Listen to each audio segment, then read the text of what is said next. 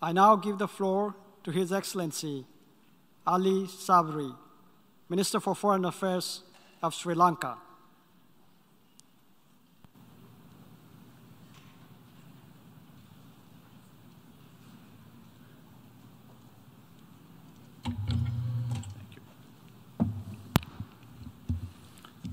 Mr. President, Mr. Secretary General, Excellencies, ladies and gentlemen, I'm honored to represent Sri Lanka at the 77th session of the UNGA, a session which after two years brings together world leaders post-pandemic to an assembly in person. Permit me the honor of congratulating His Excellency Csaba Kőrösi on being elected President of the current session. Mr. President, Sri Lanka looks forward to working closely with you and your team in the years ahead. May I also convey our appreciation to His Excellency Abdullah Shahid of the Maldives for his excellent stewardship on the 76th session. As a close friend and neighbor of Maldives, we, exp we express particular appreciation for his presidency of hope that gave us renewed optimism and vigor. Building on this, we, we move to the vision of our new PGA of finding solution through solidarity, sustainability, and science. Mr. President, 77 years ago, when the battlefield of the Second World War was silent, but its horrors reverberated around the globe, a new world order emerged out of the remains of the old one. And that new world order was manifested by the Charter of the United Nations, developed by 50 nations at the San Francisco Conference. The United Nations is a table where every state can sit down, a forum where everyone can be heard and where everyone is equally important. This is the concept of multilateralism. And that is, and this is a fundamental political principle of diplomacy. It is said that multilateral diplomacy is similar to gardening. You plant, you wait, you sow the seeds, you wait, you trim, and you harvest at some point. In multilateralism, we talk to each other. We develop a relationship of trust and confidence. And if something was to come up, you have a base to work with. Excellence Excellencies, the world is facing a multiplicity of complex interlocking, interlocking challenges. The far-reaching effects of the pandemic have been further exacerbated by the current global crisis. These vulnerabilities have been aggravated by the devastating consequences of what the Secretary General has referred to as five-alarm global fire, which has resulted inter alia in the triple planetary crisis of climate change, biodiversity loss, and rising pollution. We are, in addition, witnessing extreme weather patterns resulting in loss of life, property, and habitat, involuntary human displacement, and an accompanying food and energy crisis. Mr. President, it is not difficult to imagine that these trends lead to depending inequalities both within and between states. Developing countries and their economies are at extreme risk with the government facing debt default and financial collapse due to the lack of access to adequate capital, while people face rising poverty, unemployment, and hunger. As a consequence, nutrition levels, especially among the children, are being affected, and their education and intellectual advancement disrupted. Despite our best efforts, our collective ability to realize the sustainable development goals or even to sustain the gains already achieved is becoming increasingly difficult. Mr. President, it is against this challenging global backdrop the significant changes have taken place in Sri Lanka since the last UNGA. The external and internal challenges we face provide an opportunity for implementing political, social, and economic reform that will lead to recovery and prosperity for our people. Sri Lanka believes that this is the moment to realize our collective vision for the future, an opportunity to build a more just, sustainable, and prosperous future for all Sri Lankans, to build back better. We look forward to the cooperation and support of the international community, including the United Nations, as we embark on this journey. Following prolonged social unrest and protests in the country, President Ranil Wickremesinghe, in his maiden speech in Parliament last month, stated, I quote, I will implement social and political reforms requested by the nation, unquote. These measures include a review of the present procedures, the strengthening of the institutional framework of democratic governance, and adoption of urgent measures to restore long-term economic stability. We have understood that this will only be possible if we engage in a strict adherence to fiscal discipline and far-reaching economic and institutional reforms. Mr. President, we are committed to that process. It is envisaged that through the proposed legislative and constitutional amendment, democratic governance will be reinforced with independent oversight institutions as well as with enhanced public scrutiny. Legal and administrative frameworks are being strengthened to ensure transparency, integrity, accountability, and inclusivity in providing access to justice. A greater participation of women and youth will be ensured in this process. Mr. President, we remain cognizant of and acutely sensitive to the events that have taken place in the recent past. The government is extremely sensitive to the socio-economic hardship faced by our people. We are pleased to have reached a staff-level understanding with the IMF. We have put in place measures to protect the vulnerable segment of society and will endeavor to ensure that these economic reforms will have a minimum impact on their lives. Our institutions and society have demonstrated remarkable resilience in the face of very difficult circumstances. We unconditionally recognize the fact that one has the fundamental right to freedom of expression, which we all treat as sacrosanct. However, we also be appreciated that this freedom must be within the constitutional order and must be exercised having regard to one's fundamental duty to express oneself within the confines of the law.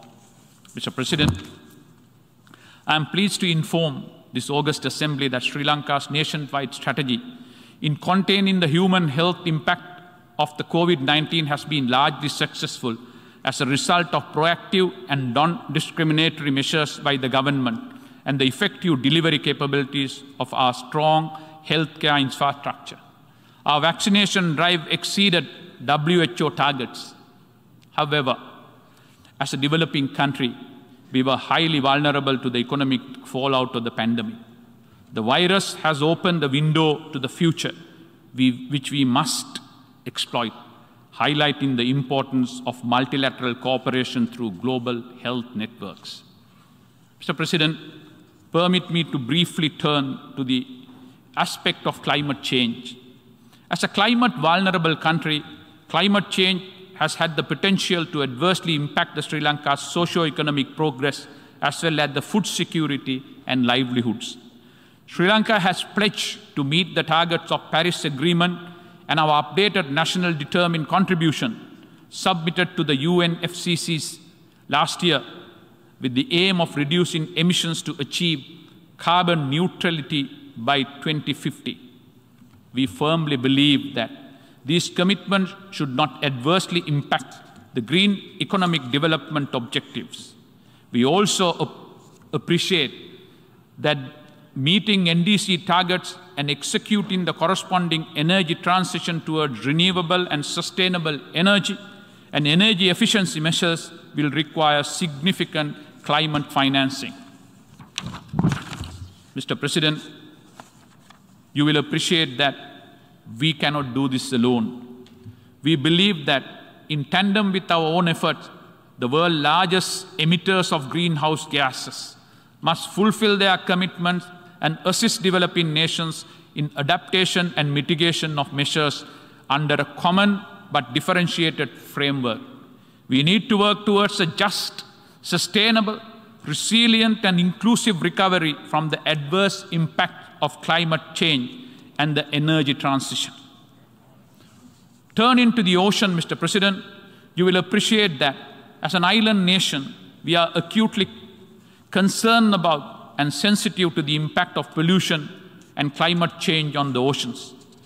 With rapid pressures, pressure on land resources, the world is turning towards the ocean for sustenance, not only for food security, but also as a source of raw material for industry and energy. We are committed to the sustainable use of the ocean and its resources in consonance with SDG 14. At the UNGA May in this year, we were pleased to have led a small but significant nature-based solution to mitigate the impact of climate change that led to the UN declaring 1st March as World Seagrass Day. Seagrasses are an important carbon sink and absorb significantly more carbon than the tropical rainforest. Mr. President, there is a likelihood that world will not reach the scheduled milestone to achieve zero hunger by 2030. It is predicted that food and nutrition security will be at great risk. Sri Lanka is paying serious heed to these warning signs. Sri Lanka supports sustainable transformation of agriculture to a modernized sector and encourages enhanced food production to ensure food security. Sri Lanka has initiated National Food Security Program with the dual objective of ensuring that no citizen should suffer for the want of food and no child should be a victim of malnutrition. Adequate nutrition is a sine qua non and, a vit and vital to ensure that children of all socio-economic backgrounds can enjoy good health. The provision of the quality education and health care for all is at the core of Sri Lanka's social protection policies and provided the foundation upon which Sri Lanka was able to mitigate the effects of global learning crisis during the COVID-19 pandemic. Rapid conversions to digital system of delivery of education threatened universal access. Participation and survival in the education system, especially in the children of low-income households. Sri Lanka aims to bridge the digital divide and ensure that no child will be left behind. Mr. President, despite severe challenges, we will endeavor to maintain the significant progress we have made towards achieving 2030 agenda on sustainable development. Our efforts have placed us in a leading position in the Asia-Pacific region for SDG data availability, thus enhancing Sri Lanka's capacity for evidence informed policymaking for SDGs in future. We recognize that investment in human capital is an indispensable essential for the future of our country. It is no surprise, Mr. President, Sri Lanka is ranked in the high human development category, occupying rank 73 out of 191 countries globally and is the highest in the region. Having said that, we are nonetheless concerned that the current challenges have disrupted progress. The UN Secretary General has, in a seri serious warning, made reference to rescuing the Sustainable Development Goals.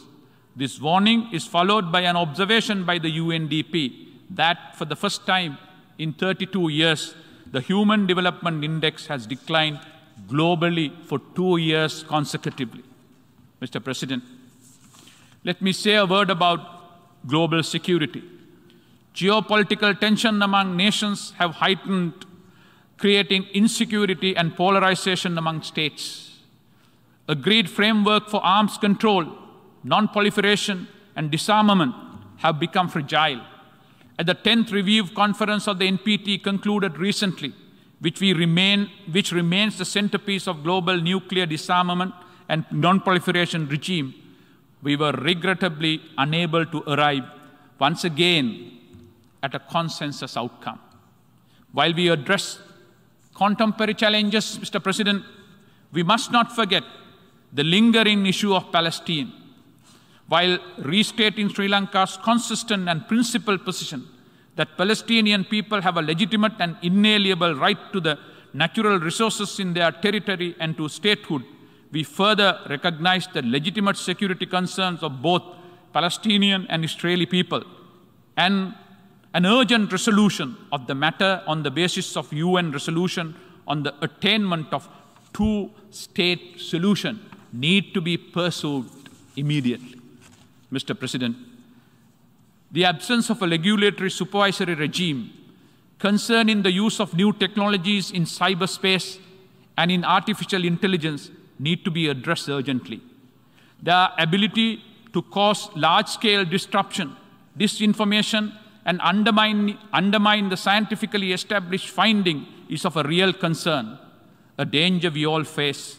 Sri Lanka, which is implementing the nation's first information and cybersecurity strategy, has identified the importance of establishing a partnership-based approach to protect cyberspace in order to confront multinational cyber threats. Mr. President, I must make a brief reference to the scourge of terrorism. Sri Lanka was a victim of terrorism for several decades. Terrorist choice of targets, methods of financing, and radicalization, as well as the use of new technologies as weapons, has been constantly evolving. Legislative measures and law enforcement mechanisms must be put in place to counter radical ideologies leading to violent extremism and to curb the terrorist use and abuse the internet and social media platforms. At the same time, it is necessary to develop the critical thinking capacity of youth, strengthen, strengthen community bonds, foster a sense of civic responsibility, and build community resilience to mitigate the effects and influences of violence extremist ideology leading to terrorism. Mr. President, as our contribution to maintaining international peace and security, Sri Lanka looks forward to enhancing our participation in US, UN peacekeeping operation with professional men and women to serve as UN peacekeepers. I take this opportunity to honor the thousands of men and women who, for decades, have helped countries navigate the difficult path from conflict to peace under, blue, under the blue helmet. We have taken many measures to ensure that Sri Lankan peacekeepers with a wealth of experience in counter-terrorism and counter-insurgency operation are trained and equipped with theoretical and practical knowledge of all necessary functions of peacekeeping, including the promotion and protection of human rights. Mr. President, it is indeed a watershed moment for the international community, a moment of great challenge and opportunity, a complex and interconnected crisis that we face cannot be resolved by nations acting on their own. It is an opportunity to demonstrate global solidarity, diplomacy, and collective efforts, leveraging the ideas and talents of all our people and all segments of our society to find transformative solutions which leave no one behind. Multilateralism, Mr. President, is a tool for diplomacy that rises above such challenges. Conflicts, disasters, and crises will not stop at passport control. Multilateralism is not without its shortcomings, and undoubtedly, it provides a solid framework for resolving contemporary challenges. Mr. President, this is, this I would say, is the mission of this August Assembly. And perhaps the singular reason for which it was established 77 years ago, and that perhaps is the reason why Sri Lanka and many others applied to be members, to participate, to be visible, to be heard, to embellish this organization with our own flavors, perspectives, history, and knowledge to this fine amalgam and grow from common work discussions and dispute that we join issue with. I might wind up by citing the observation of one of our late prime ministers who committed Sri Lanka to the way of socialist democracy, to non-alignment, and to independent foreign policy based on friendship with old countries, irrespective of differing, differing ideological and social system, when he said, I quote, we have to build up a new society for ourselves, one, as I have said, which best suits the genius of our country. We should like to get some ideas and principles from this side and some from the other until a coherent form of society is made up that suits our people in the context of a changing world today. That is why we do not range ourselves on the side of this power bloc or that.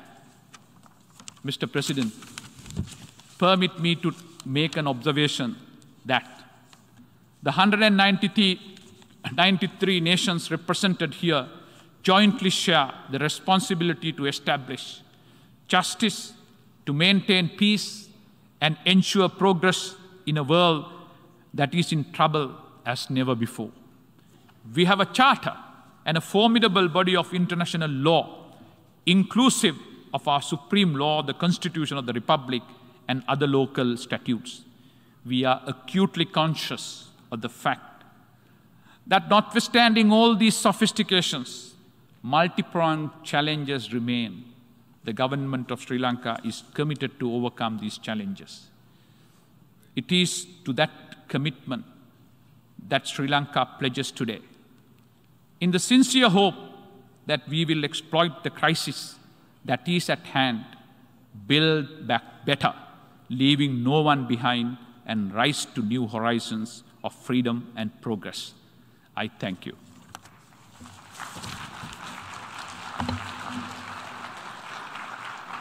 I thank the Minister for Foreign Affairs of Sri Lanka,